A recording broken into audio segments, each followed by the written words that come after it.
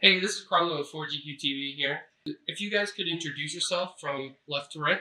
I'll start. My right, Your your other left. left. I wasn't sure. Stage left or house left. Hi, I'm Jay Rincon, and I play ND5. Hi, I'm Humberly Gonzalez, and I play Kay Vess. Dee Bradley Baker here. I play Nix. So I'm really excited for this game to come out, and I think it looks phenomenal so far. So, um, going from left to right again, the question I would have is, how did you relate to your character? Did you draw some inspiration into your character? Did it feel like like an extension of yourself? Absolutely. I mean, um, I think ND5 and, and I have uh, a lot in common uh, in, in enough ways, and I definitely leaned into that in in helping bring ND5 to life. Um, it I don't you, you you can't help but uh, put a little piece of you into any performance that you give. Um, this one was so fun to do so and to, to to dive into that into that world and into his mind. But yeah, of course. Yeah, I think from even the initial audition, uh, there was something in the character where I felt her wittiness, her charm, her charisma. Uh, she's, you know, when she sees an opportunity, she seizes it. And I think naturally, a lot of that I think I brought to the table and why, you know, when they first saw my audition tape, they were like, oh, there's something in that. And, you know, they kind of kept me around uh, for the months and months of uh, the auditioning process. But after I got to know who she is and got to know her background and where she was going in her hero's journey, I definitely saw a lot of myself represented, um, especially where she comes from and, and why she does the things that she does.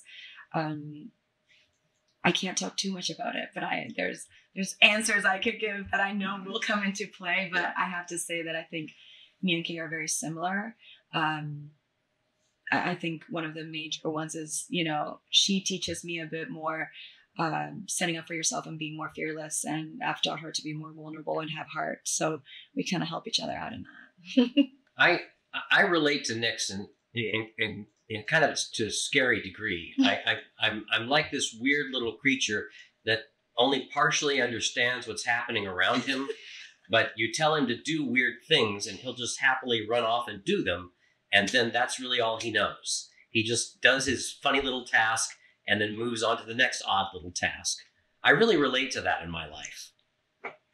Perfect casting is what we're saying. we are a droid, a scoundrel, and a creature. So prior to getting the character, did you study any other characters in the Star Wars universe to prepare yourselves? Yeah, I mean, I think that uh, I mean, being a droid, you you'd be foolish not to you know do your research. It's it's also in the writing. I mean, there there is a um, there's a cadence and a, and a humor to them that is similar. Whether you know whether they're kind of uh, a colorful character like C3PO, or if you're uh, you know a dangerous or deadly character like Mr. Bones, you kind of they all still have that that sardonic approach to them. There's that droid sound. So that was the first place to to, to start with the research. Um, and then uh, beyond that, it's it's in the writing. I mean, they've done such a great job of of creating the character and showing you everything, showing me everything that I needed to see to start with. I mean, the first time I saw the image of ND5, you know, with the duster and the trench coat and and in action, oh my gosh! I mean, that's a, that's a wonderful starting line. You know. Well, when I found out that I was going to be in Star Wars, the first thing I did was watch the movies again. And uh, just looking, obviously, for inspiration. I think we've seen scoundrels in the universe, but not a lot of like female representation within that specific area of the underbelly of this galaxy. So I knew that although there was going to be inspiration, that it was going to be a completely new take on it. So I was excited for that because if they cast me, it was for a reason. So I also had to trust that what I brought to the table in the script and bringing their words and their vision to life, I was going to be guided. And I, you know, I just had to remember the tonality, when it took place, you know, Emperor Strikes Back, Return of the Jedi, and also going even further back, which is she only knows Canto Bight. She doesn't know what's out there. So kind of making her this like secluded version of what a Star Wars character would be in that era.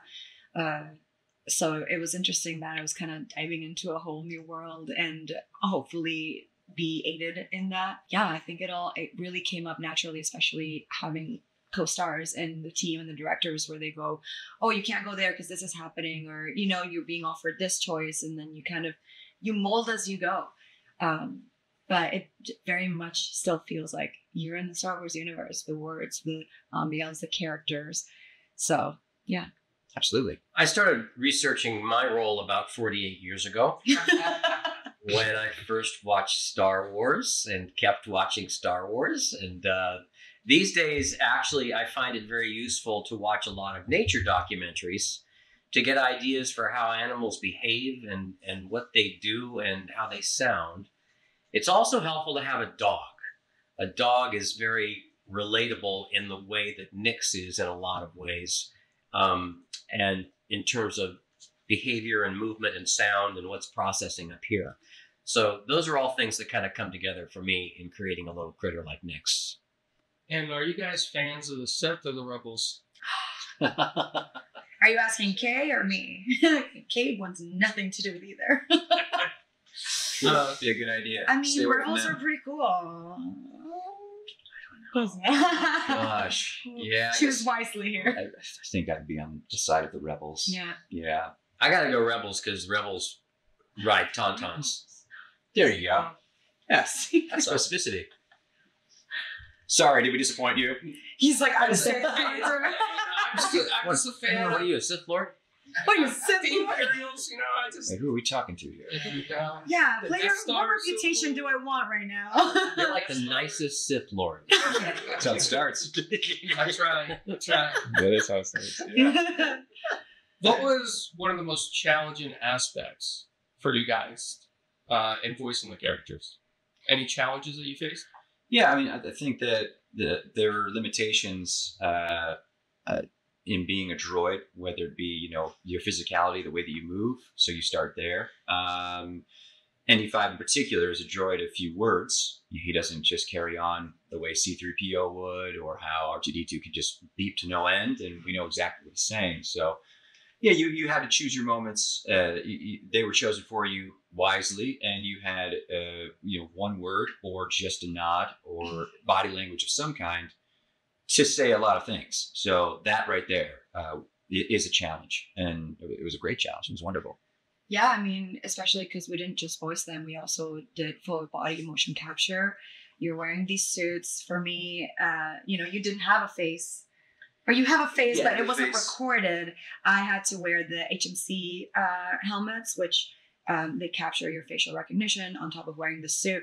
Um, I have to say that being in that for hours and hours every day, like if we shoot for a week straight, um, I think there's a physical challenge in in embodying the characters themselves. Um, you know, working with stamina and all of that, but you know, you get sweaty and itchy, and it's like it's this whole experience. You're wearing this exoskeleton and becoming a new character, while also ignoring the fact that there's a camera in front of you and you're wearing all this. So there's a lot of suspending your disbelief and and really allowing yourself to live in this world where there's no sets, no makeup, no costumes. You're in a volume that you're being recorded. Mhm. There's cameras all, all around you, but they're like ghosts because they don't they're not wearing the suits. So t- technically in the world of like film and TV, this is such a niche spot where it's like theater meets film meets I don't even know, like AI. But um, that to me is also part of the fun. I love doing motion capture, and um, once you wear the suit, you feel like you become someone else. Like it's like Mortal Kombat. Like I don't even know. You're just like, oh, I feel powerful. Yeah, it is. It is. Yeah, we Yeah. go in, we ROM. They tell us, okay, we're picking up all the sensors and Yeah. time, and it truly is. I mean, it's, it's so much fun, regardless of the emotional, you know, level of Yeah. particular. And when it comes to VO, I think um, the hardest part is, I mean, your hours in the booth, and I'm, I'm sure you can attest this is your entire world, but there are days where you're just shouting or um, doing like barks, but in all different things. So it's like, okay, now you're in stealth, now you're in conversation, now you're on the speeder, now you're sneaking around, now you're just conversational. So having to do the same lines over and over again, Good different reputation, takes poor reputation. yeah so there's a lot of like living the same moment in, in very different versions of the point of view of the character or where you are um, and it's like hours on end weeks on end especially you know i've never been the lead of a game and i realize how much work that is um, it's been two years of me just like being Kay Vess Yeah. It's a very deliberate and deconstructed process Mm. that plays out over years. Um, that's finally woven together by all of the technical artists that put this together in, in this seamless world that you get to jump into. That's that's really cool. But from an actor's standpoint, we get into acting because we like to act with other actors, doing a scene and telling a story. You know, usually starting like with a play or a musical where the whole story plays out. But this is like more like building a movie where it's it's made chunk by chunk, bit by bit, in all these different realms, um, in all these different studios, and then finally is woven together by the powers that oversee. Yeah, it's Yeah. very, it's very, it's very unusual and interesting. All right. Well, I have one last question, and it's a fun question. We we do for our channel and our audience. Okay. So it's it's really an icebreaker question that I ask at the end, and everybody that watches our channel wants to know these questions. Hmm. Pineapple on pizza, yes or no? Yes. Yes. Sure. wow. He's like. Um, yes, savory and sweet are such a great combination. Our tongue has so many sensors. Why not overload it with cheese and sauce and sweetness and maybe sometimes a little spice? Why wouldn't you want it all at once? And I'm not fighting the history of what a pizza is. yes, I understand. So I mean, you can go ahead and have that argument while I'm eating a slice great of pizza. pizza. I'm, I'm sorry. After talking about it, I want my, my pineapple on the side. But I like grilled or not grilled? oh grilled. I'll, I'll take it grilled. Yeah. But uh, but yeah, I, Brazilians eat it. I don't think I've ever ordered it though. I I have. Yeah, I've never ordered it that. No. I I've never just gone and said, "Hey, I want the pineapple pizza."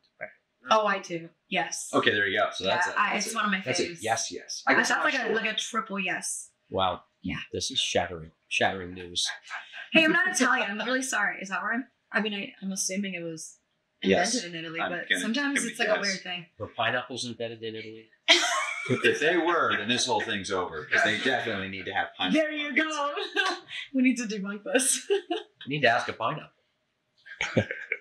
Well, thank you guys very much for your time and to the Thank you. of the convention. Thank you very much. guys.